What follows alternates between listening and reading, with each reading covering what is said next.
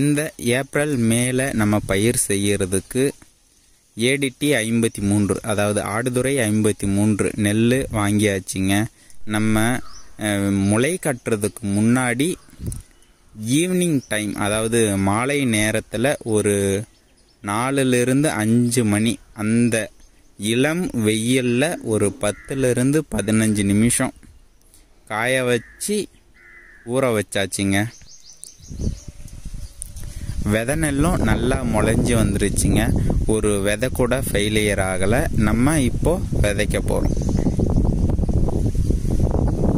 இந்த பயிருக்கு நம்ம உரம் மருந்து விலையில் காம்ப்ரமைஸே செய்ய போகிறதில்ல இந்த பயிரினுடைய ஆரம்பம் முதல் அறுவடை வரை லைவ் அப்டேட் வந்துட்டே இருக்குங்க. நம்ம சேனலோட இணைஞ்சிருங்க. நன்றி.